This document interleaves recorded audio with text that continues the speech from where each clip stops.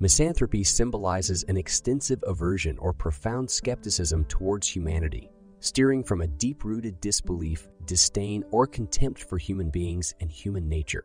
Those fostering such pessimistic perspectives are termed as misanthropes or misanthropists. The term springs from the union of two Greek words, misos misos, meaning hatred, and anthropos, anthropos, signifying man, human.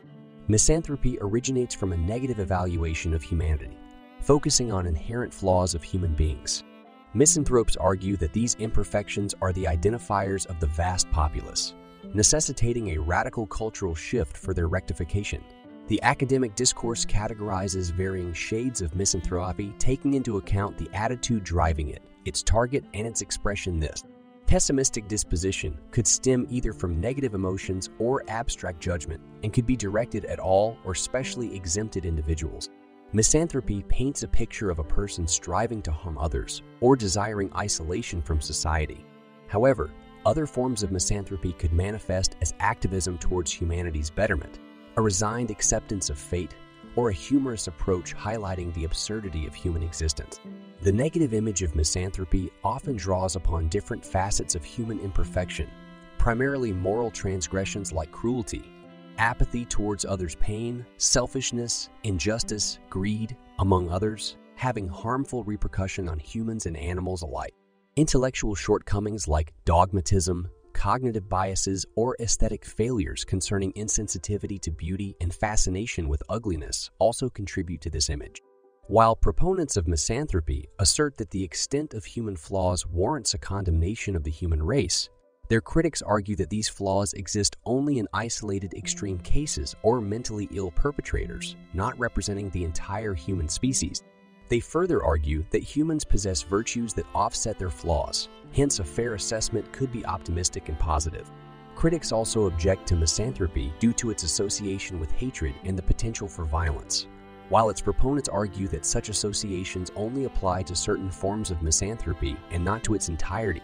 Focusing on the theme of misanthropy, the narrative explores the idea of a central disdain for humanity as a collective. Misanthropy, a term with 17th century roots, traditionally translates to a hatred or dislike of humankind. Modern philosophy, however, expands this definition to encompass any negative evaluation of humanity, rooted in human failings and vices hatred, is only one of myriad expressions of this negative judgment. It's an introspective insight rather than a blind rejection of humankind. While philanthropy inclines towards love for humanity, reflected in charitable acts enhancing human welfare, it doesn't stand in direct opposition to misanthropy. Interestingly, the same individual could embody aspects of both. Core to misanthropy is its sweeping target, humanity as a whole, distinguishing misanthropes from racists, misogynists, and misandrists who aim negativity towards specific groups. This doesn't necessarily imply every misanthrope despises all humans. The distaste may be confined within their immediate surroundings, like a villager disliking fellow villagers. The universally shared understanding is that negative traits are unevenly dispersed, with some individuals exemplifying these more than others. But misanthropy isn't gauged on extreme examples. It paints the entire human race, even the commonly seen instances, with a broad brush of disapproval. Often, these flaws are viewed as trivial or obvious, dismissed due to intellect-related shortcomings. Some attribute these flaws to inherent human nature, while others draw from contemporary issues as the driving force of their negativity. Regardless, the consensus is that these flaws are entrenched, deeply set and resistant to correction without a radical overhaul of the prevailing lifestyle. Presuming that's even possible, the thought at the backbone of it all. Some choose to champion antinatalism, a stance against human reproduction. Let's explore the theme of varying shades of misanthropy and how these antagonistic beliefs towards humanity vary from person to person. Some misanthropes include themselves in their adverse critique of humanity, ensuring that their standpoint remains unblurred by hypocrisy. These individuals stand in stark contrast to those misanthropes who contrarily present themselves as superior beings. Selectively excluding themselves from their accusation of the human race, these self-glorifying misanthropes tend to indulge in a heightened sense of self-importance, which Joseph Harris deems it as fairly common yet hypocritical. Irving Babbitt takes this categorization further, discussing the divide between misanthropes who consider humanity universally irredeemable and those who consider certain exceptional individuals as excluded from their critical appraisal. He exemplifies the difference between these variations with Rousseau's portrayals of uncivilized man versus Swift's outright dismissal of the whole human race. Another angle to understanding the degrees of misanthropy, suggested by Toby Svoboda, involves the underlying attitude towards humanity, whether it's based on dislike, hate, contempt, or judgment. A misanthrope who behaves out of dislike or hate may not always yield logical explanations for their attitudes, however. Judgments and contempt could derive from more theoretical outlooks and may often exclude the individual from their general disapproval. Lastly, Svoboda differentiates misanthropes based on their coping mechanisms to their disdainful attitudes towards humanity. While some respond with manifestations of destruction or violent rebellion, others prefer to retreat and isolate themselves from society. These varying responses add to the complexities of the misanthropic perspective, enriching our understanding of the shades within this theme. Personal inadequacies are extensive, encompassing cruelty, greed, wastefulness, dogmatism, self deception, indifference to aesthetics, and more. The story highlights moral deficiencies as the most severe type of flaws, since these promote harmful attitudes or behaviors, such as injustice, selfishness, apathy towards others' suffering, and moral laziness. Humans cause harm both directly and indirectly, not only to their species, but also to other animal species and the environment, as exemplified by instances like the Holocaust, livestock factory farming, and environmental degradation leading to climate change. Let's explore the concept of intellectual shortcomings, the cognitive impediments leading to false beliefs, obstructed knowledge, and violations of rationality. It cites instances of intellectual vices such as arrogance, dogmatism, and cognitive biases. These flaws deceive individuals about their own inadequacies, which stops them from self improvement. They also encompass willful ignorance and denial, leading some to believe that ignorance could be at the root of all evils. Finally, aesthetic flaws, though given less importance compared to moral and intellectual ones, are also integral to the narrative. These are mostly associated with disparaging aspects of human life, such as aging and fecal matter. Further illustrations include environmental degradation and insensitivity towards aesthetics and beauty. Admiration of another person, especially a close friend, can often lead to disappointment and consequently misanthropy, misanthropy. The tendency to consider oneself morally superior to others can fuel this attitude. The teachings of philosophers such as Thomas Hobbes, influenced by the political instability of his time, and Arthur Schopenhauer, a victim of displacement, encouraged such behavior. Misanthropy can also stem from an aversion towards the human body or a repulsion towards sexuality. Socioeconomic inequality, authoritarianism, and political repression can act as catalysts for a misanthropic outlook. An unequal distribution of wealth can instigate mistrust in government and societal structures, indirectly leading to misanthropy by implementing policies promoting trust and equality. The rise of misanthropy could potentially be prevented or reduced.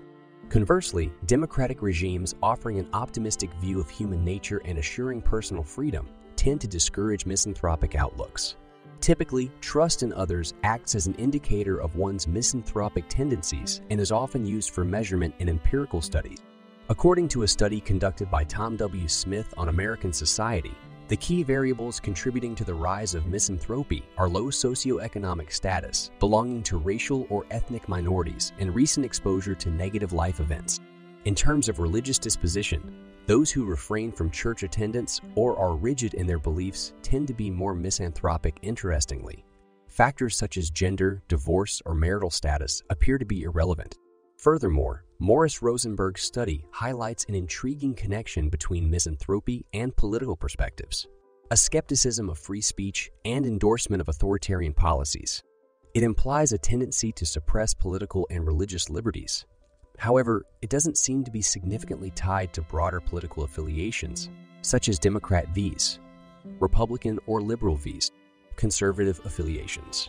Only mentally unstable individuals or ordinary people under extreme circumstances are liable for heinous acts. Hence, such extreme cases shouldn't be generalized to foster an overall negative view of mankind. Though vile deeds such as mass genocide by dictators occur, they're inadequate to denounce all humans. Misanthropes counter these arguments by suggesting innate flaws exist within all. though only some exhibit extreme version. They acknowledge that everyday humans who stand by, indirectly support such actions, or commit small acts of dishonesty also contribute to this negativity. An interesting perspective from Svoboda employs a thought experiment about an alien ecosystem where one species dominates, causing environmental disasters and species extinction. This fictitious case is used as a metaphor for humanity on Earth. Warranting a negative outlook, critics might argue that such a grim depiction should target specific social forces rather than the whole of mankind. These might include harmful systems such as capitalism, religious fundamentalism, or imperialism, believed to be the main drivers of human tragedies, therefore. Combating these systems should be prioritized over rejecting mankind However, Svoboda counters by arguing that these harmful systems are bred and upheld by human complicity. One argument that misanthropy undervalues is mankind's propensity for good. The negative might be present, but it is also complemented by equally present positive traits. Critics of misanthropy argue that an emphasis on horrific tales from history overlooks the positive strides in the sciences, arts, and humanities. Negative figures such as Hitler or Stalin, although relevant, should be juxtaposed with positive figures like Mother Teresa or Gandhi. The complexity of humanity makes it challenging to draw sweeping comparisons. But it's worth noting that misanthropes often counter that negativity is more prevalent, with positivity being the exception they maintain that. Even within specific areas such as animal treatment, mankind tends to fall short. The validity of the critique levied against misanthropy depends largely on the nature of the misanthropy in question. Criticisms appear accurate for versions of misanthropy rooted in anger and destruction, but are off target for versions that are instead based on a peaceful philosophical perspective. There are arguments that misanthropy is morally objectionable, and while true for certain misanthropes, it does not resonate with all, as some assert that the philosophical stance of misanthropy does not necessarily clash with moral obligation in reference to this point. Kant's notion of a cold-hearted benefactor who acts morally towards others despite a lack of genuine empathy presents an example. Another critique takes aim at misanthropy on the theoretical level, stating it is an inconsistent and self-contradictory position that merely approximates a philosophy or ideology. The inconsistency is illustrated in the misanthrope's inclination to criticize society, while still actively participating in it and unable to fully disengage. This point of contention applies more to misanthropes, who self-exempt from the negativity they profess and arrogantly view others with disdain, however. Not all misanthropes fit this mold. Another closely connected criticism is that to be a misanthrope is contrary to natural human tendencies and therefore must be considered an abnormality or possibly pathological. Historic philosophical discourse on misanthropy originated with philosophers like Heraclitus, who commonly portrayed as an individualist with little tolerance for human society, and whose pessimistic perspective on humanity was rooted in their inability to truly understand reality, Plato's Phaedo discusses misanthropy as a result of unrealistically high expectations and excessive optimism being invariably dashed. The philosophy of cynicism also contains elements of misanthropy, arguing that human actions often just amplify the negative aspects they're trying to escape, such as the establishment of cities for defense, which instead yields higher crime rates and violence. The noted cynic, Diogenes, was a pronounced misanthrope who scoffed at societal norms and values, considering people to be hypocrites and superficial beings. Furthermore, early modern philosopher Thomas Hobbes showcased misanthropic views in his work, articulating a dim perspective on humankind as inherently selfish and violent, acting on self-interest even if it means causing harm to others. Let's focus on the ongoing futile struggles of mankind, driven by endless, meaningless desires. These desires are often selfish in nature, contributing to suffering and instances of injustice. The fulfillment of such desires merely births additional ones, thereby engendering more suffering. Great thinkers like Schopenhauer and Nietzsche have devalued important human experiences such as romantic love, individuality, and freedom, suggesting instead that man should embrace asceticism by denying their will. Nevertheless, very few human beings manage to meet this ideal due to numerous complexities. Friedrich Nietzsche, heavily influenced by Schopenhauer, provides a potent example of a cynical perspective, portraying humans as decadent, sick animals, no greater than any other creature. He viewed mankind's inherent tendency to establish moral codes for benefiting the weak as suppressing superior entities, thus implying humanity's need for evolution into the Übermensch. Religion also presents some cynical viewpoints, reflecting upon the sinful nature of humans. Christian teachings tie these sinful tendencies back to the actions of Adam and Eve, where pride, lust, greed, and envy are classified as significant sins. Calvinist theology even asserts total depravity of human beings, with some citing this as a demonstration of misanthropy. Even Buddhism does not turn a blind eye to human flaws, identifying hindrances such as lust, hatred, delusion, sorrow, and despair. Yet, despite these criticisms, Buddhism believes in the potential of overcoming these challenges in a pursuit of enlightenment, an accomplishment perceivably extraordinary. However, it's essential to note that many religious teachings argue against a cynical view of mankind and instead champion kindness and the helping of others. For instance, Christians uphold the virtue of agape, symbolizing selfless, unconditional love, compassion, and a willingness to aid others similarly. Buddhism endorses the practice of loving kindness, emphasizing a compassionate approach towards all conscious beings. Renowned writer Jonathan Swift was notorious for his misanthropic tendencies, frequently citing his detestation for mankind. This central theme of misanthropy is evident throughout his esteemed piece, Gulliver's Travels, where protagonist Gulliver's multiple journeys to fantastical lands, home to tiny humans and intelligent horses, emphasizes the deep-seated flaws of the human species, leading to Gulliver's aversion towards his fellow kind. A renowned example of misanthropy is Ebenezer Scrooge from Charles Dickens's A Christmas Carol, an unfeeling, isolated miser with a loathing for Christmas festivities and an unwavering obsession with wealth. Other notable authors such as Gustave Flaubert and Philip Larkin have also spun narratives around the theme of misanthropy. Moving to the realm of television and comic books, Mr. Burns from The Simpsons stands as a clear representation of a misanthrope, desiring only to augment his extensive wealth and power with disregard for others' welfare. The Joker from DC Universe represents an even darker form of misanthropy, using violent antics to validate his belief that humans are selfish, cruel, and irrational. Misanthropy should not, however, be mistaken with philosophical pessimism.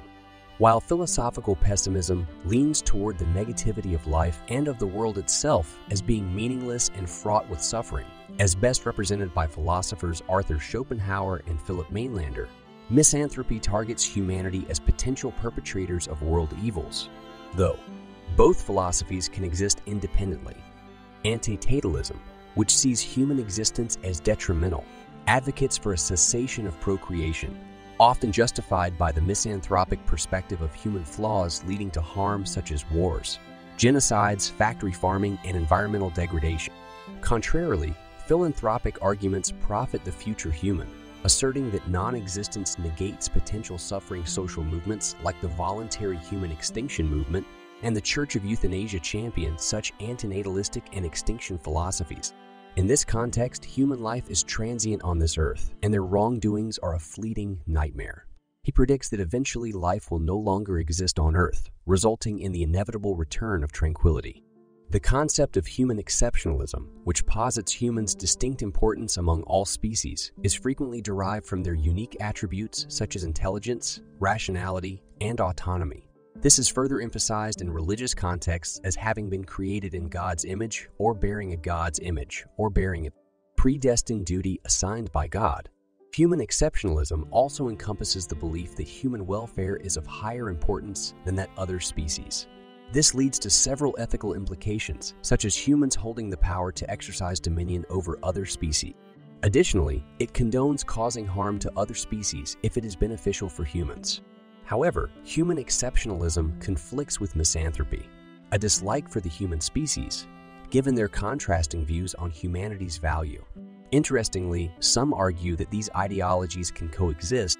For instance, one could view humanity as exceptional due to a few extraordinary individuals while harboring negative attitudes towards the average person alternatively.